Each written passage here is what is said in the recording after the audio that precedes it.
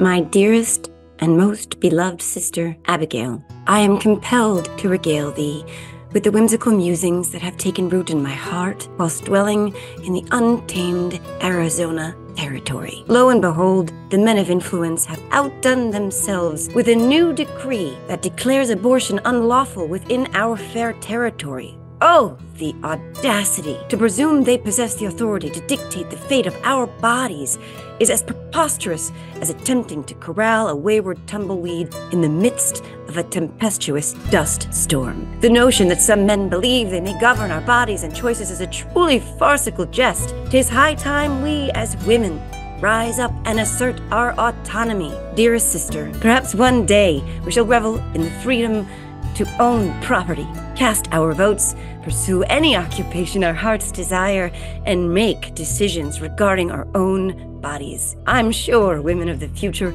will marvel at how little we had and how far they had come. I'm sure they will not be able to fathom being thrust back into a time such as ours. Until then, let us keep our spirits soaring and our laughter resounding with an abundance of love, Eliza.